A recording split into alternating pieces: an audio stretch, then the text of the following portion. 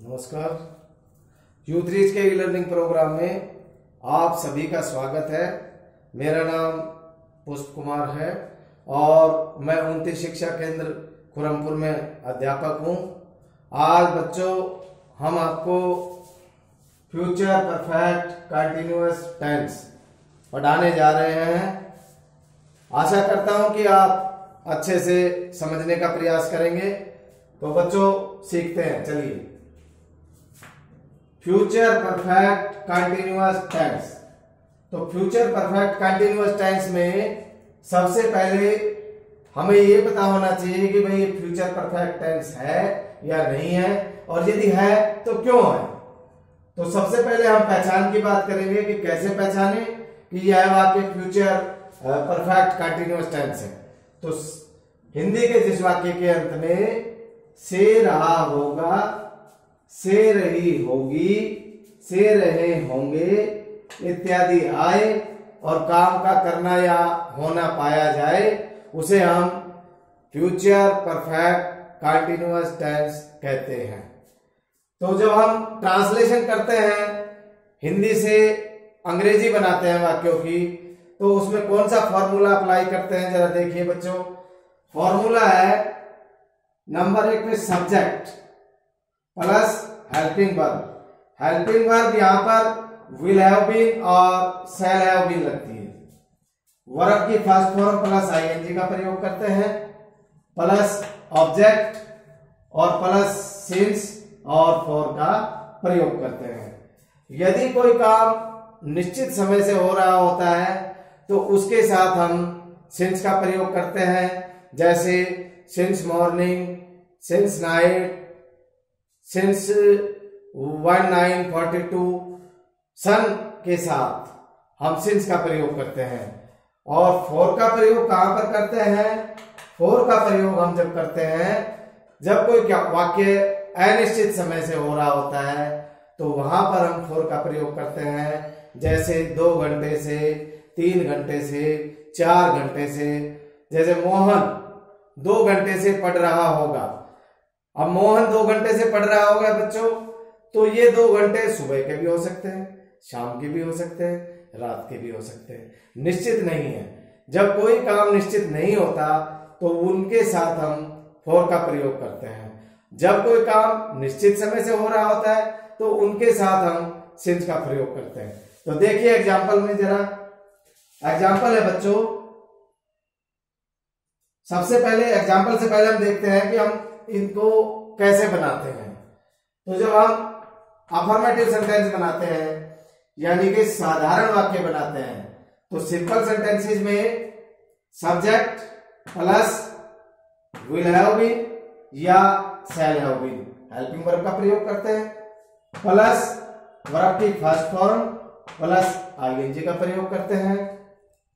Plus object का प्रयोग करते हैं। और प्लस सिंस या फोर का प्रयोग करते हैं नेगेटिव वाक्यों की बात करें तो नकारात्मक वाक्यों में हम subject plus will not have been या शैल नॉट हैव बीन का प्रयोग करते हैं और वर्ब की फ़र्स्ट फॉर्म के साथ आईएनजी का प्रयोग करते हैं प्लस ऑब्जेक्ट प्लस सिंस या फॉर का प्रयोग करते हैं। इंटेरोगेटिव सेंटेंसेस में हम सबसे पहले सेल हैव सेल और हैव बीन प्लस वर्ब की first form plus ING plus object का प्रयोग करते हैं और सिंस और फॉर का प्रयोग करते हैं। इसी प्रकार यदि विल करेंगे तो विल का प्रयोग में हम सबसे पहले इंटेरोगेटिव सेंटेंस में विल विल उसके बाद में सब्जेक्ट उसके बाद में हेल्पिंग वर्ब प्लस वर्ब की फ़र्स्ट फॉर्म प्लस आईएनजी का प्रयोग करते हैं प्लस ऑब्जेक्ट और प्लस सिंस या फॉर का प्रयोग करते हैं। तो एग्जांपल देखिए बच्चों, जैसे वे सुबह से खेल रहे होंगे, वे की अंग्रेज़ी बच्चों दे होती है, और दे के साथ helping verb will have been का प्रयोग करेंगे। They will have been playing खेलने की अंग्रेज़ी? प्लेइंग प्ले होता है। तो प्ले के साथ आईएनजी का प्रयोग करेंगे तो playing they will have been playing since morning इसी प्रकार से मैं मैं दो घंटे से नहीं पढ़ रहा हूँगा। तो ये नेगेटिव सेंटेंस है। तो नेगेटिव सेंटेंस हम कैसे बनाते हैं? जरा देखिए। I shall not have been reading for two hours इसी प्रकार हम पर्सनवाचक बनाते हैं। क्या हम सुबह से नाच रहे होंगे? तो सेल हेल्पिंग वर्ब होगी। सेल करता हम है तो हम के साथ be shall be have been dancing और कब से? सुबह से। तो सुबह से निश्चित समय है, इसलिए इसके साथ हम सिंस का प्रयोग करते हैं। Since, morning. और इसके अतिरिक्त बच्चों, और भी उदाहरण हो सकते हैं। आप देखिए अभी हम आपको अन्य उदाहरण के माध्यम से और एग्ज़ाम्पल देख करके अच्छे से आपको अभी बताएँगे। देखिए एग्ज़ाम्पल देखो बच्चों। एग्ज़ाम्पल जैसे मोहन सुबह से स्कूल जा रहा होगा। तो मोहन सब्जेक्ट है। मोहन उसके बाद में हेल्पिंग वर्ब तो helping verb will have been Mohan will have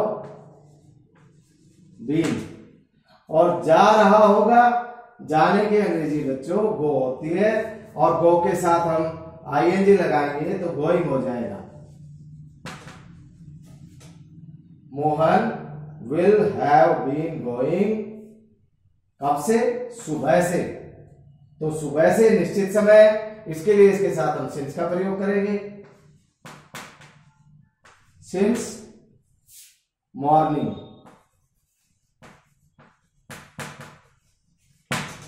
इसी प्रकार इंटेरोगेटिव सेंटेंस बनाते हैं। क्या राधा दो घंटे से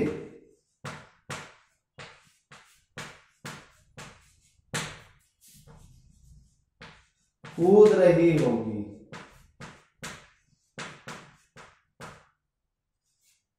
पर्सन बात इंटेरोगेटिव सेंटेंस है। तो इसके अंदर हम क्या करते हैं बच्चों? हेल्पिंग वर्ब को पहले लेते हैं। तो क्या राधा?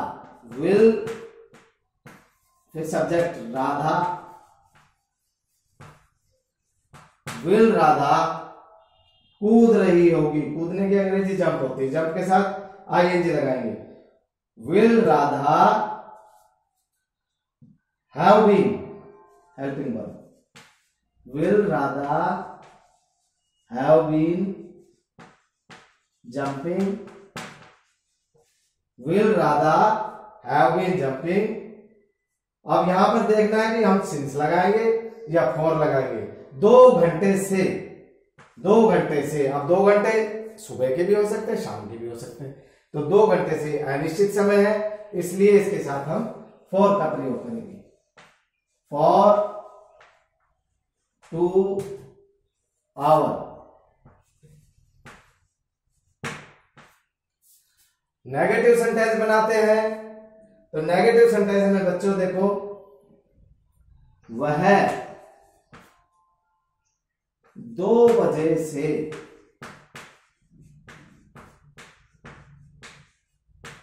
एक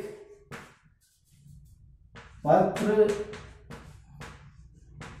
नहीं लिख रहा होगा।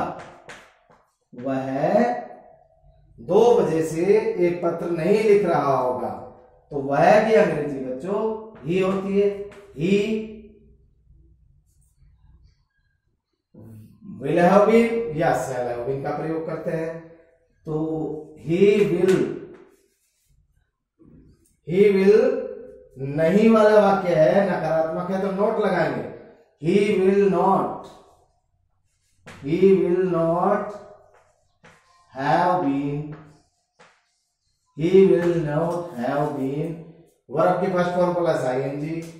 तो लिखने का काम हो रहा है। तो he will not have been writing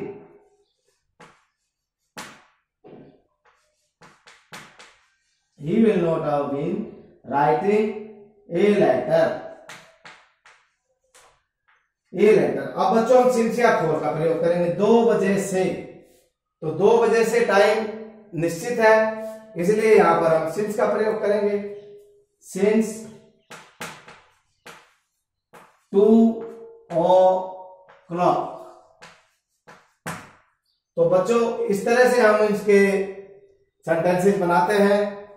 चाहे वो नेगेटिव हो, चाहे वो इंटेरोगेटिव हो, चाहे वो सिंपल वाक्य हो। तो अभी आपने फ्यूचर परफेक्ट कंटिन्यूअस टेंस पढ़ा और मुझे पूर्ण आशा है कि आपको यह टेंस अच्छे से समझ में आया होगा। यदि इस विषय में आपके कुछ सवाल हैं तो आप वो हमसे कर सकते हैं, ताकि हम आपको और अच्छे से पढ़ा सकें। धन्यवाद।